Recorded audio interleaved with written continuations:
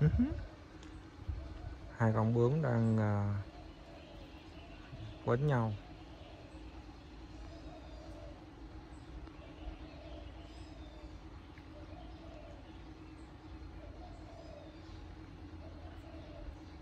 Giao lưu lâu thế